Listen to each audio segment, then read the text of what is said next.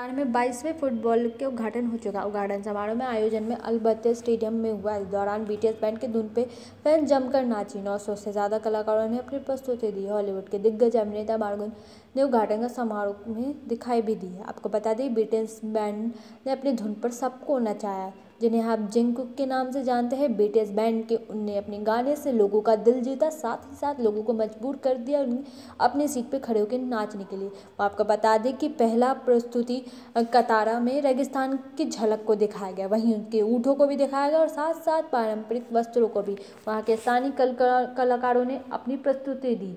और आपको बता दें कि फीफा वर्ल्ड कप के में कन्नड़ फुटबॉल के फैंस के लिए 36 साल बाद चल रहे लंबे समय का इंतज़ार अब ख़त्म हो चुका है। उनकी टीम अब खेल सकेगी फीफा वर्ल्ड कप में। आपको बता दें कि कन्नड़ नाइट के बाद पहली बार वर्ल्ड कप खेल रहा है। वही उसका मुकाबला पहला बेल्जियम टीम के साथ है, जो 2018 में सेमीफाइनल में रह चुकी है। अब वो फीफा रैंक दूसरे नंबर पे है। आपको बता दें, कन्नड़ थर्टी सिक्स साल पहले जब अपने पहले वर्ल्ड कप खेला था तो एक गोल से वो नाकाम रही, तब उनका सामना फ्रांस के साथ हुआ था, जिनके काफ़ी संघर्ष करने के बाद वो हार गए थे। अब कन्नड़ की अनगुई नई पीढ़ी कर रही है, जिनमें से Alford Devon, Jonathan Devon, Kyle के जैसे कई दिग्गज खिलाड़ी शामिल हैं।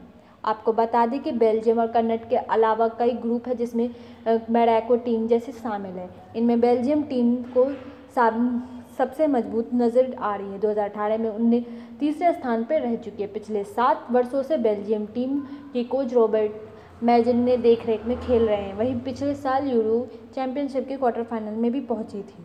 आपको बता दें कि रोमोलुक जैसे अनुभवी खिलाड़ी फीफा वर्ल्ड कप में खेल रहे हैं। और तो और इंडिया में इसका प्रसारण स्पोर्ट्स 18 पर होगा, जिन फैंस के लिए सबसे बड़ी खबर। फैंस इसे अपने सही समय पे देख सकते हैं। लाइव वो भी स्पोर्ट्स 18 पर आगे की खबर के जानते रहे। मेट्रो मिरर से।